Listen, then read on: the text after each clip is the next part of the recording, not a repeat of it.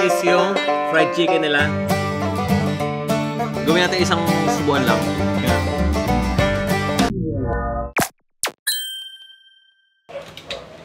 Good morning. Good morning. Uy. Uy. ah, hello, Polka. Good morning. Sa wakas guys, nagkatubig na dito sa amin. Nakaligo na rin ako. Isang araw ako hindi nakaligo. What? And today is uh, March 8, 3.25 na. And it is our cheat day. Ah, kinakain ni Paul ko yung ano, yung pagkain ni Jeje, yung dog food. Hindi ko alam kung bawal sa cat yung dog food. Pero kasi yung cat food, bawal sa dog naman. Kasi mataas yung fat ng cat food kaysa sa dog food. Pero si Polka, gustong gusto niya yan. Kapag ka merong pagkain dyan si Jeje, kinakain agad ni Polka. Ngayon naman, si Polka, kapag ka meron naman siyang cat food doon sa lalagyan na ng pagkain niya, gustong gusto naman ni Jeje. Pero pinagbabawalan na namin si Jeje. Dati ganun, kapag ka may nakita si Jeje doon, pupuntahan niya agad yun, kakainin niya na agad. Pero hindi na namin pinapayagan. Dati lang yun. And itong bata na to ay bagong ligo. Hey, kakaligo ko lang. Dinilaan mo naman ako.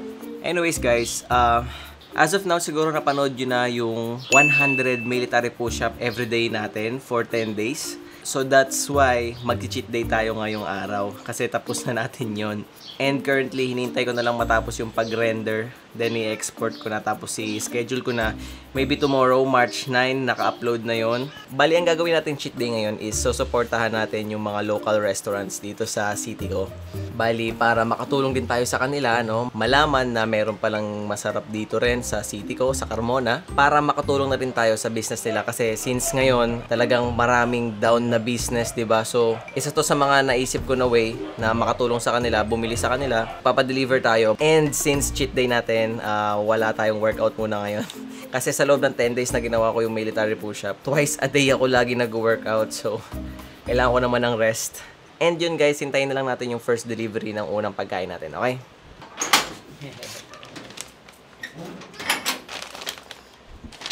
Okay guys, so dumating na yung ating unang order. Daharo. Sa mga tiga Carmona guys, alam niyo itong Daharo siyempre. Umorder ako ng apat na sandwich. Apat, tsaka... Uh! Ano to? Chicken. Walang kanin? Wala, wala kasi sinabi. Sabi mo, chicken lang eh. Hindi, may kanin naman dyan eh. Hindi ka, hindi eh. Ah. Pero syempre, ano ba yung sa'yo pa? Ito, tuna club. Yan, tuna ko. Ito, ayan, kay Papa. Tapos, ano kay Mama? Daharo sandwich. Oh, ito kay Mama. Tapos ito kay... Kunin mo dito sa'yo, leg. Ano, ketchup sa'yo to. Ito.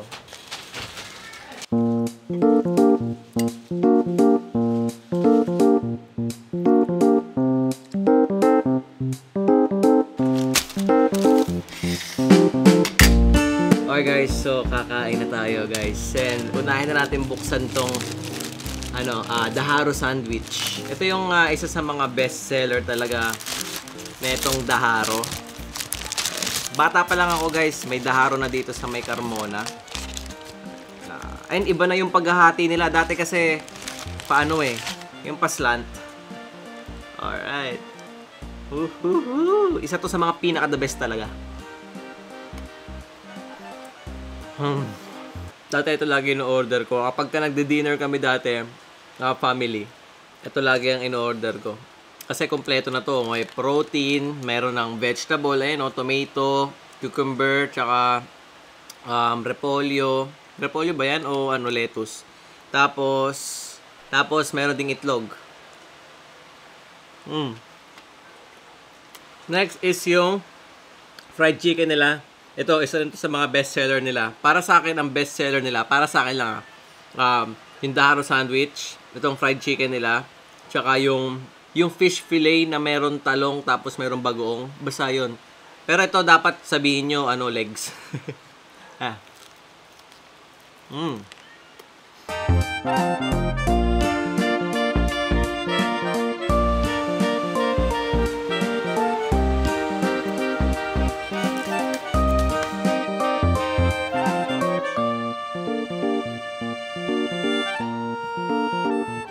Guys. Sumakit ko. Eventually. Hello!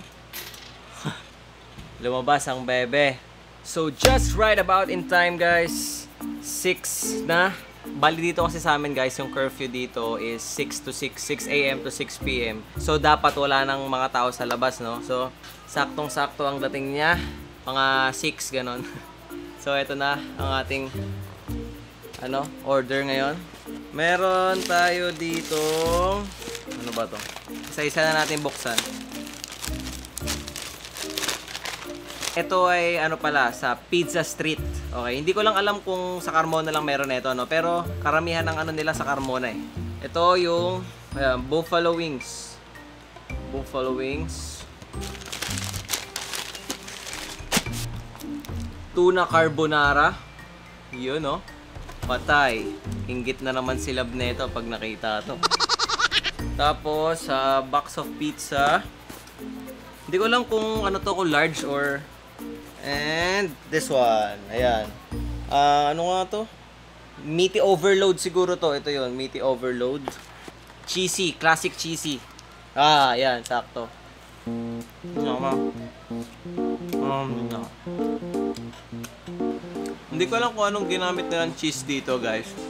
Pero parang siguro yung ano processed cheese, yung Eden ganun. Siyempre para sa presyo niya, hindi naman sila gagamit dito ng mga parmesan, mga mozzarella, hindi naman sila gagamit ng ganun syempre. Pero overall, masarap. Mm. Next up is tuna carbonara. Yeah. So, 'di ba sabi ko sa inyo, maingit sila. Nag-chat na. Sinendan ko, you know. Inggitin pa natin lalo pag pinanood niya to. Oh, labo. Say ah. Oh. Oh. Nasa ilalim yung mga iba pa niya mga sauce. Ito, a piece of tuna. And back on watching Netflix.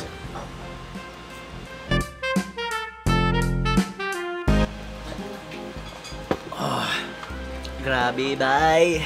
Later that same evening. Okay guys, so ngayon ay 9.30 na. Hope. Ayan. And uh, medyo busog pa ako pero pero kailangan natin ubusin to, okay? Ah, okay, so ito na. Ito yung natitirang uh, meat lover pizza. Tapos ito yung uh, buffalo wings. Damn. So, ano pa nga bang hinihintay natin? Sayang naman to kung di natin kakainin. Ayan. Wings, wings, wings. Paano kaya nag-wings to? Parang ano siya eh. Parang drumstick. Drumstick na! buffalo chicken pala. Buffalo wings ako ng buffalo wings kanina. Sorry po. Mm. In fairness, masarap yung sauce nila. Mm. Gawin natin isang subuan lang. Yan.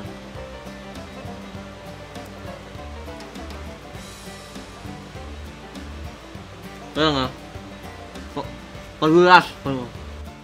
Mmm. Done. Sobrang ano ko ngayon. Sobrang dehydrated ako. Ganito talaga guys kapag nag-cheat day. Sobrang nakaka-dehydrate. Oh. Mm. And kung meron kayong mga suggestion dyan ng mga local restaurants, sabihin nyo lang guys and baka malay nyo, di ba, mapuntahan natin, makainan natin. Um, Siyempre, para makater din natin yung mga ibang masasarap na pagkainan, hindi lang yung mga sikat, no? Hmm. Ah. Okay guys, so Ganyan natin ha. 1, 2, 3, 4 pa. Apat na slice. Hindi ko na kaya guys. Pero merong isang hindi dapat mawawala guys. Tingin ko kung matagal na kayo nanonood dito sa akin, alam nyo kung anong kulang sa mga kinain ko ngayon eh. Meron na kayong clue. Ah, ito kukunin ko ha. Dito sa taas, kukunin ko sa taas. Siyempre, dessert, guys.